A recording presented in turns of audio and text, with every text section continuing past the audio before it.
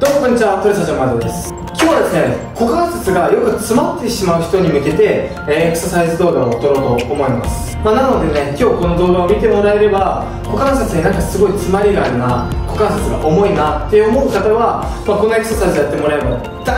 の人は詰まりが治ると思いますでもしねこれ1回で治らなかったらもう本当にトレーニング前だったりとか、えー、毎回やるようにしてもらって、えー、その股関節の詰まりっていうものを治していきましょうで今日3つ、えー、種目をお伝えするんですけどこの3つともね、えー、とまた違ったアプローチになりますのでぜひこの3つの最後までエクササイズを見てもらって自分にどれが当てはまるのかっていうものを、えー、しっかり選んでやってみてくださいそれではやっていきましょうまずはですね、えー、もうすごく股関節の詰まりの要因として、えー、挙げられる腸腰筋のストレッチ、まあ、エクササイズをやっていこうと思います。でこの腸腰筋のストレッチエクササイズは、まあ、今日この3つのうち2つやっていきます。まあ、それほどにねすごく大事な種目になってくるんですけどまず腸腰筋がどこにあるかわからないとストレッチエクササイズができないのでそこの説明からしたいと思います。それを説明しながらストレッチをやっていきましょう。まず1種目目なんですけど腸腰筋。で腸筋ってまずどこからあるのかって言ったら股関節のところです、まあ、骨盤ですね。骨盤のところ、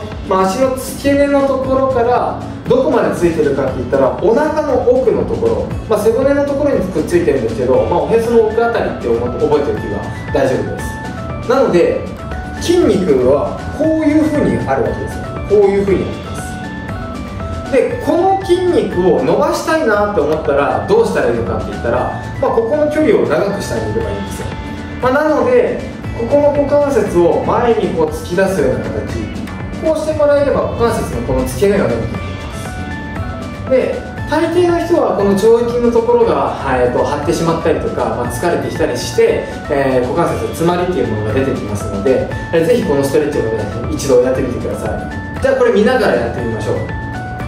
まずは大きく足前に出したところから膝はねちょっと少し後ろのところについてあります。これマット引いてるんですけど別になくてもあってもどっちでもいいです。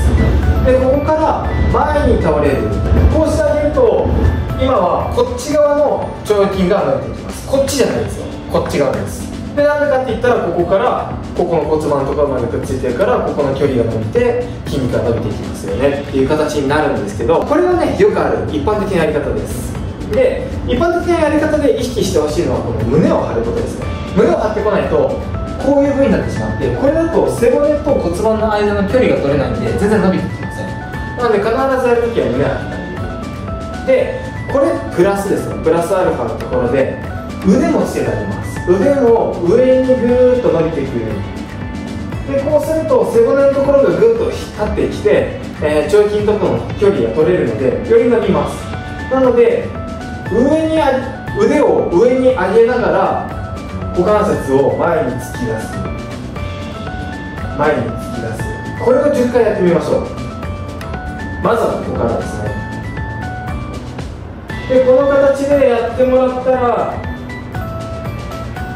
一回立ち上がって自分の股関節を確認してみます。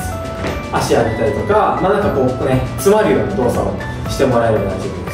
でこれで股関節の詰まりが取れてればもうこれやってもらえればいいっていう感じになっていきます。でもしこれでも股関節の詰まりが取れてない人は次行きましょう。で次は股関節のところ形は同じです。大きく足前に出したところからここからまた前に倒れる。ここまでは一緒です。でここから腸筋をより伸ばすためあとはいろんな方向でね、えー、股関節前のところを伸ばすために次はこのねじりっていうものを加えていきます。どうねじるかって言ったら前から見た方が分かりやすいのでちょっと分かくなりますね。さあ前から見てみましょう。ここからさっきと同じ前に倒れるっていう動作に加えてここから反対側にぐーっとひねります。でまた前に戻ってくる。ぐーっとひねる。戻ってくる。なので前に体を移動させながら股関節の前股関節のところを前に突き出しながら体をひねる。これを同時にやっていきます。こういう感じです。でこの時大事なのが前側にあるこの膝の方が一瞬こうやって流れちゃうとこれ伸びにくくなりますので必ずここは同じ方向を向いたままこのままです。なんならちょっと内側に入れる意識でやってもらって大丈夫なのでこれでまた10回やってみましょう。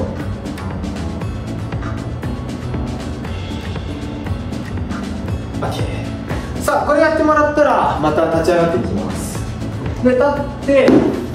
また足を上げたりとかあとは股関節が詰まる形を見せててでさっきに比べてまたこれ詰まり取れたなって思ったりとかあとは股関節の詰まりが全く効いたよっていう人は、まあ、ここまでやってもらえると思います。でまだ股関節の詰まりちょっと残ってるなって思う人は次に行きましょう。で最後3つ目なんですけど3つ目は、えーと、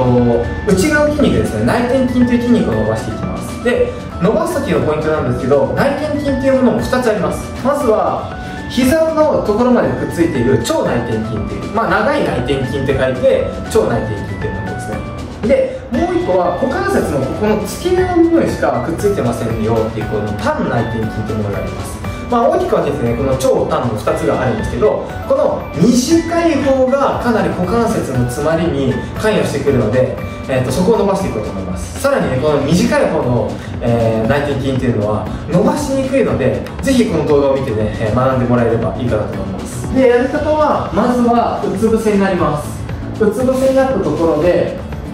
伸ばしたい側の足を上に上げていきましょう。こういう感じです。膝をなるべく上の方に上げてきてまっすぐ寝転がるこの感じです。であとはこのまま息を吐きながら体をふーっと起こしていきます。で起こしてくるとここの付け根の部分ですね。曲げてる側の付け根の部分のところがじわーっと伸びていきます。で伸びたらまた戻る。ここからまた上げてくる。ふーでまた戻る。やるときのポイントは上げ体を上げてきた時にこのお尻が後ろにまたこうやって突き出しちゃうとこれ内側伸びなくなっちゃうのでなるべくこれも股関節を前に押し出す感じこれは床に股関節をくっつける感じですね。床に股関節をくっつけながら体を起こしてくるのでそうすると内側のところぐわーっと伸びてきます。これはゆっくり5回いきましょう。